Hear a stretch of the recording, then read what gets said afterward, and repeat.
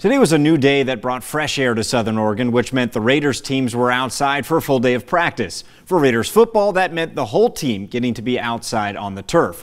While yesterday was technically the first day of fall camp, today felt like the real start to the 2021 preseason.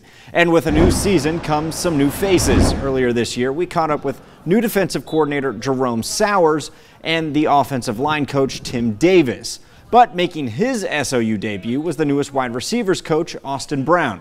After four years as a grad assistant at Oregon State, Brown joins the Raiders this fall to work with a young group of wideouts. SOU graduated four of its top receivers from 2019, so it will be a new crop of players.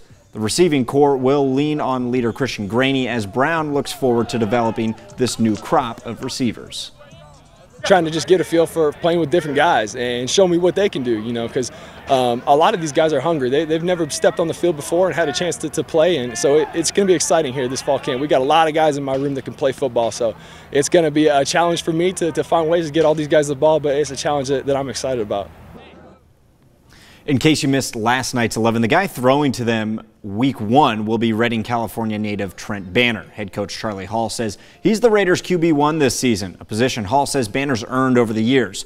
In 2019, he balanced being both a backup QB and a backup running back, but now he's glad to just be solely back in the QB role.